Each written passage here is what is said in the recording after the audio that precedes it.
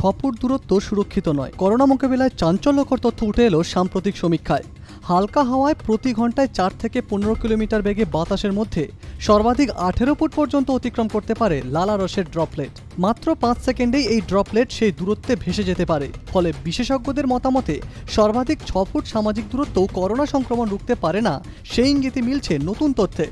Physics of fluid নামে একটি বিদেশি পত্রিকায় প্রকাশিত হয়েছে তালিব ডিবক ও ডিমিট্রিস ড্রিকাকিসের গবেষণা। সেখানে দেখা গিয়েছে, প্রতি ঘন্টায় চার কিলোমিটার হাওয়া বইছে এরকম জায়গায় কাশলে মুখের লালা ছিটকে প্রায় আঠেরো ফুট পর্যন্ত পৌঁছে যায় মাত্র পাঁচ সেকেন্ডে। ডিমিট্রিস জানিয়েছেন, কাশির পর সূক্ষ্ম অণু যেভাবে ছড়িয়ে পড়ে, তা থেকে আক্রান্ত হতে পারেন বয়স্ক ও বাচ্চারা। মুখের লালা আঠেরো ফুট ছিটিয়ে যাওয়ার এই খবর সামনে আসতেই চাঞ্চল্য তৈরি হয়েছে। কারণ করোনা মোকাবিলায় যে এক মিটার বা তিন ফুট দূরত্ব বজায় রাখার কথা বলা হয়েছিল, তা মেনে চললেই শুধু হবে না সেই দূরত্ব আরও বাড়াতে হবে।